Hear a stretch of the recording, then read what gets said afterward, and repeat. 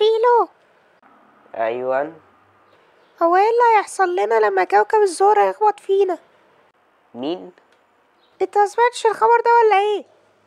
العلماء قالوا إن كوكب الزهرة يجي يخبط فينا. أنت جبتي الخبر ده منين؟ من على موقع كدب dot com. كدب dot com. بجد؟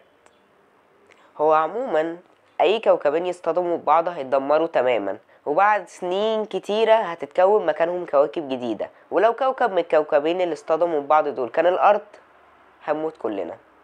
بس ما تقلقيش الكواكب بتاعتنا ثابتة في مداراتها بسبب جاذبية الشمس. ما شفناش قبل كده إن كوكب خرج من المدار بتاعه.